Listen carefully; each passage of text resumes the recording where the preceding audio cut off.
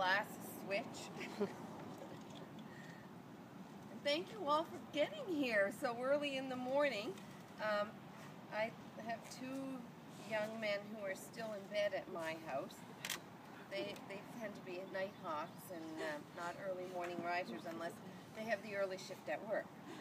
So indeed it's a pleasure to join everyone here today to talk about recreation facilities for helping Nova Scotians lead healthy, active lifestyles.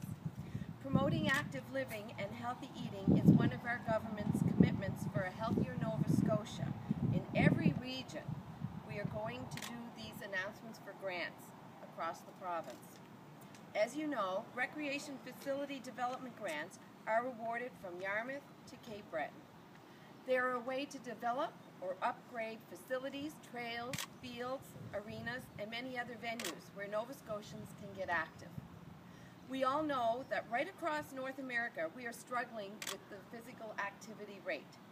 We want our children, youth, peers, to live long and happy, healthy lives. And yet, their lifestyles today threaten that type of future. We have to get Nova Scotians moving to reverse this trend.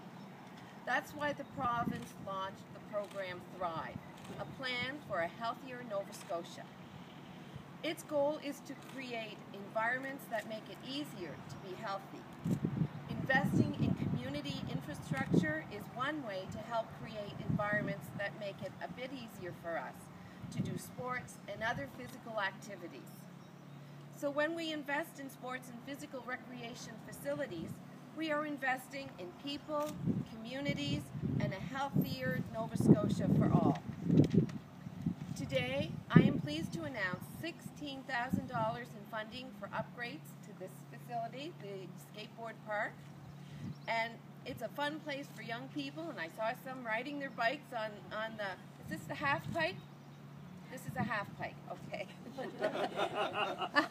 do have three boys, so I am familiar with some terminology with skateboarders.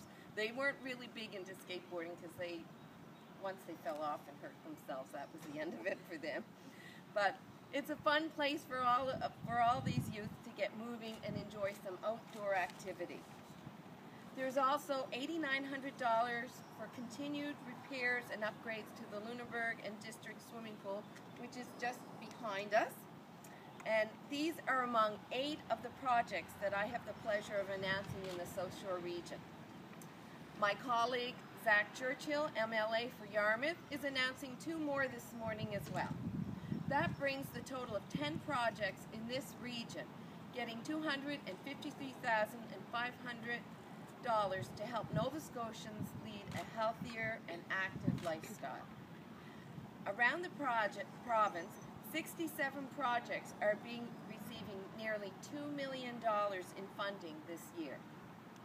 Leaders like Mayor Rachel Bailey, their councils, recreation staff like Robin Scott, right, Robin, I did see you. Oh, there you are, Robin. Um, community organizations and volunteers are the heart of many of these projects. I can't name everyone, but I do want to say how fortunate we are to have such dedicated Nova Scotians throughout the South Shore region to develop and maintain facilities for everyone to enjoy. Thank you all for being here and for bringing these projects to life. Thank you.